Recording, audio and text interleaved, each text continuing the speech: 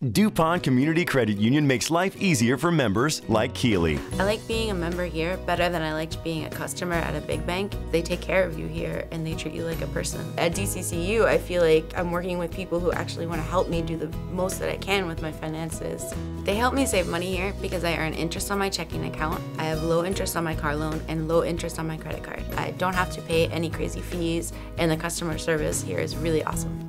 The most important thing to me about banking at DCCU is that the communication about my money is really open and honest. Like there's never any hidden fees or transactions. The people are knowledgeable, they're upfront with the information.